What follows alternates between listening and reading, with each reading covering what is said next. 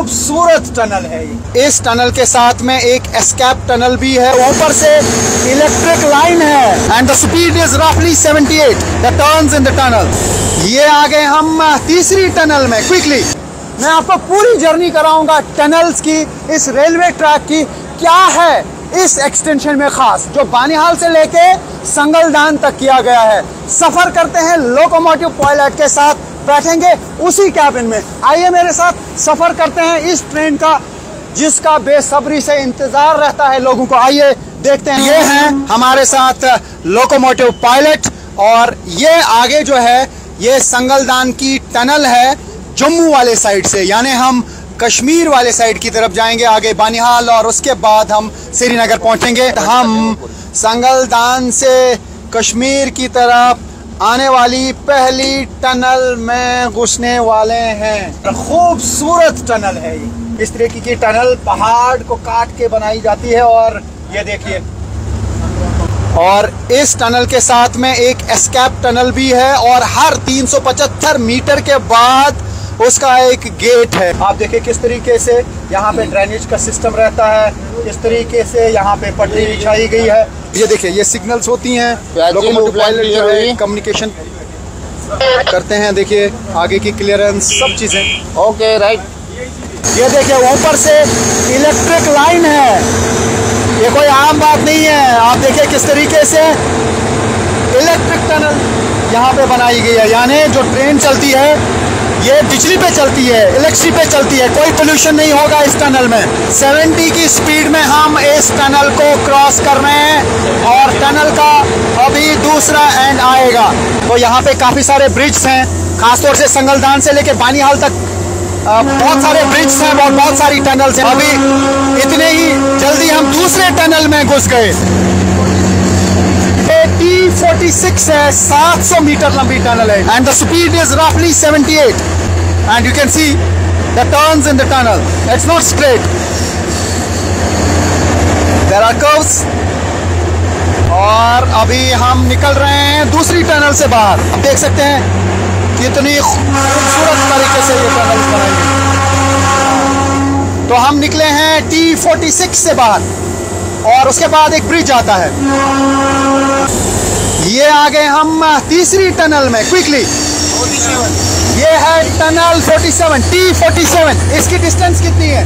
ये भी 700 मीटर ये भी 700 मीटर के करीब इसकी लंबाई है। These are the small tunnels रोशन ये टनल्स हैं और ऊपर से इलेक्ट्रिक लाइन है। This is the first electric tunnel on the track wow on tunnel number four we are entering the tunnel number 4 and that is T48 2.2 kilometer long wow it has been illuminated and you can see the electric line passes through the tunnel it is state of the art technology it is state of the art tunnel ये देखिए ये दो side से जो आप देख रहे हैं ये बड़े बड़े वेंटिलेटर्स हैं, ये देखिए। ये वेंटिलेटर्स आप देख रहे हैं बड़े बड़े ताकि यहाँ पे ऑक्सीजन की कमी ना लगे। Now we have enter in T forty nine it's another tunnel oh it's longest one of the longest tunnel ten kilometre tunnel number forty nine but this is the fifth tunnel when we come from uh, Sangaldan towards Srinagar. This is the fifth tunnel and this is T49, 10 kilometers long tunnel. Then we will pass through T50. That is the longest tunnel. Right now we are in tunnel number 49. Tunnel number 49 is 10 kilometers long. Tunnel number 50 is 12.8 kilometers long and that is only longest tunnel in India, railway tunnel. So we are heading towards the next tunnel and you can see how beautifully it has been carved, how beautifully it has been constructed. ये जो आप देख रहे हैं ये exit gets हैं उसके उस साइड से एस्केप टनल है अगर कोई भी प्रॉब्लम ट्रेन में होगी पैसेंजर्स नीचे उतर के एग्जिट गेट से दूसरे एस्केप टनल में जा सकते हैं और वहाँ से सेफली वो बाहर आ सकते हैं। तो ये आप देख सकते हैं, हम निकले हैं टी फोर्टी से बाहर, यानी 10 किलोमीटर की ये जर्नी रही और उसके बाद आप देख सकते हैं, यहाँ पे आ गया एक खूबसूरत सा ब्रिज और ब्रिज के इर्द गिर्द खूबसूरत नज़ारे। टी फिफ्टी में हम थोड़ी देर बाद दाखिल हो जाएँगे। पहले एक रेलवे स्टेशन आएगा और रेलवे स्टेशन का नाम है सुम्बर हम सुम्बर पहुँचे हैं। ये बारह आठ किलोमीटर लंबी ये टनल है। इसको बोलते हैं टी फिफ्टी देखिए, लिखा हुआ है। It is T fifty main northern railway tunnel it is 12.775 means roughly 12.8 kilometers long. 12.8 kilometre लंबी टनल तो ये जर्नी कुछ मिनट्स तक जारी रहेगी। और स्पीड देखिए कैसे एक्सेलरेट की जाती है। 40 के बाद 50, 55, 60, 70 एवरेज 75 से 80 के बीच में स्पीड रहती है। तो हमने टी फिफ्टी का सफ़र किया और आप देख सकते हैं ये इसका एग्जिट है। हम संगलदान से आए श्रीनगर की तरफ़ जा रहे हैं और आप देख सकते हैं अब हम खारी पहुँच जाएँगे। वहाँ पे भी एक रेलवे स्टेशन है और पहले ब्रिज आएगा और उसके बाद जो है रेलवे स्टेशन आएगा। इंडियन रेलवेज की सबसे लंबी टनल है, ये आप देख सकते हैं।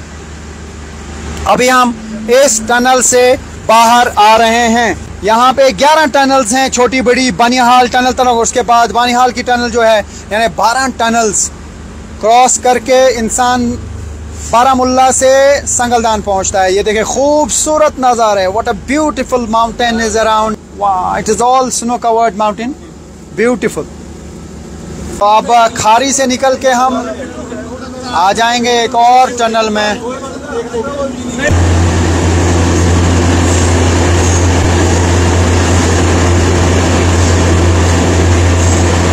एक और टनल से हम बाहर निकल रहे हैं। एक के बाद एक टनल जा रही हैं और ये आप देख सकते हैं, खूबसूरत नज़ारा। एक और टनल में हम घुस गए, टनल नंबर 53 बावन से निकल के तिरपन में दाखिल हो गए। उससे आप अंदाज़ा लगा सकते हैं कि एक के बाद एक टनल्स यहाँ पे खोदी गई हैं। और किस तरीके से कार्व की गई हैं टनल्स?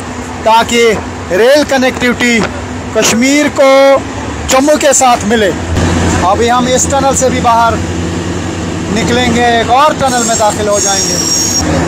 पहले लेफ़्ट कर्व्स थे अब राइट कर्व आ रहे हैं। यानी काफ़ी जगहों पे मोड़ा जाता है टनल को। ऐसा नहीं कि एक जगह से सुराख किया, दूसरे जगह से स्ट्रेट निकाला जाए। क्योंकि सर्वे की जाती है और उसके बाद ही ये टनल तामीर की जाती है। कोई आसान काम नहीं है, इंजीनियरिंग के नमूने हैं ये। बहुत बड़ा टास्क रहता है। और अभी आप देखेंगे, अब आ जाएगा टनल नंबर 55 यानी कि तकरीबन 100 मीटर के फासले के बाद टनल नंबर 55 एक के बाद एक टनल जा रही है। 11 टनल्स का सफ़र हमने तय करना। वाह what a beautiful what a beautiful area this is देखिए, खूबसूरत नज़ारा, बर्फबारी का और इसी बीच हम अब दाखिल हो जाएँगे। देखिए, ये ब्रिज है, अब दाखिल हो जाएँगे हम। टनल नंबर 55 में। ये आप देख सकते हैं, उसका मतलब है कि रेलवे स्टेशन पे line